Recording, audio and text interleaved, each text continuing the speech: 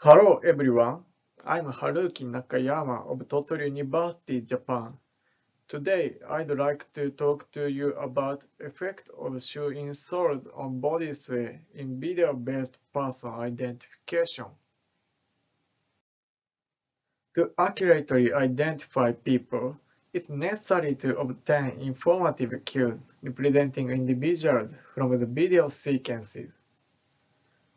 Body sway uh, in standing individuals has been attracting attention in recent years. Body sway uh, is a small movement occurring naturally when a person is standing, even when they consciously try to stop it. As you see, the person slightly moves even though the human body is stationary. The existing study showed that body sway uh, is an effective cue for person identification. We need to consider various factors to evaluate accuracy in real environments. Here, we focus on shoes as a factor.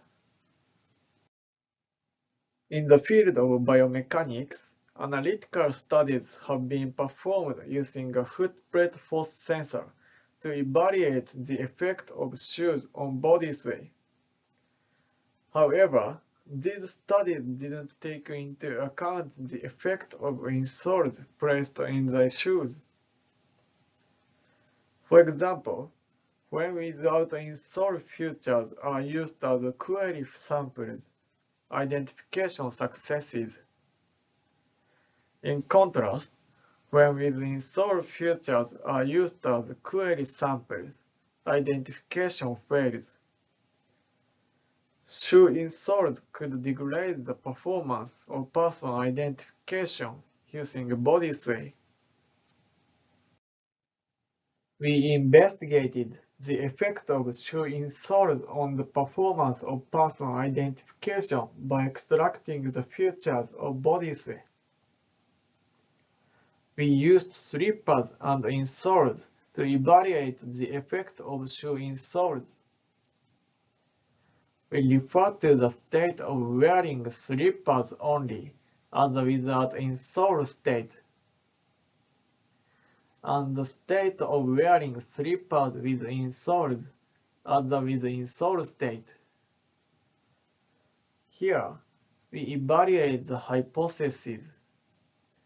When with insole features are used as query samples, the identification performance is worse than when the without insole features are used as query samples. We assume without insole features are stored as the target samples. Here, we consider changes in the condition of the soles of the feet can have a significant impact on even the slight movement of body sway. For example, if a person is wearing shoes without insoles, the movement of body sway becomes small. Contrastingly, if a person is wearing shoes with insoles to increase body height, the movement of body sway uh, becomes large because the soles of the feet are unstable. Therefore, we focus on the insole. This is a variation in the condition of the soles of the feet. Person identification is a technique determining whether a person in a query video sequence is stored in the target dictionary.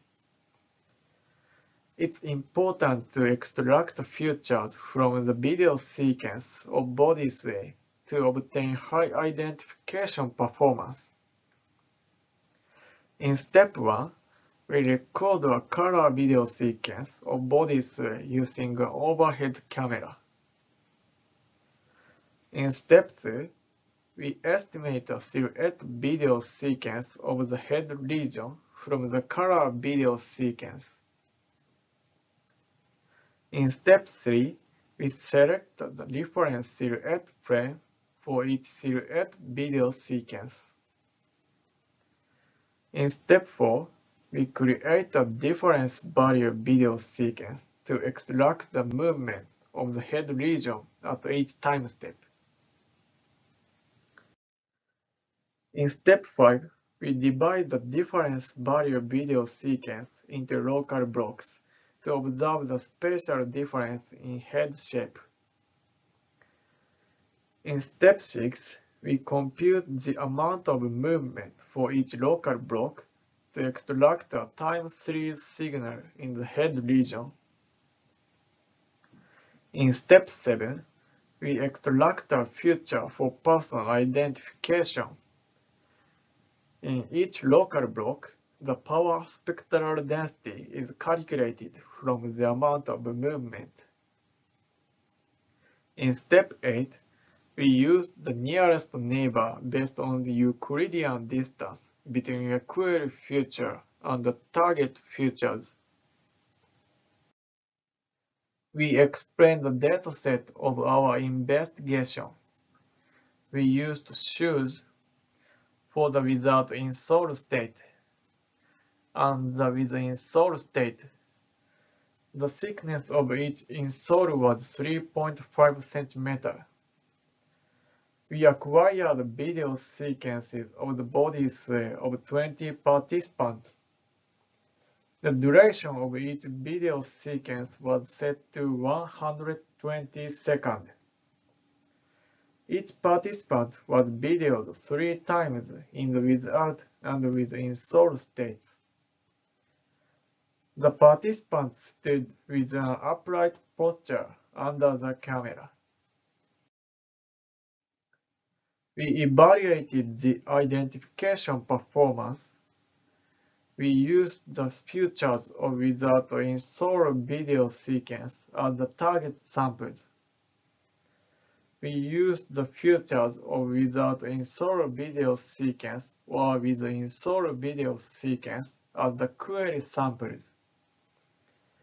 In each of the trials, different samples were used for the target sample and query sample.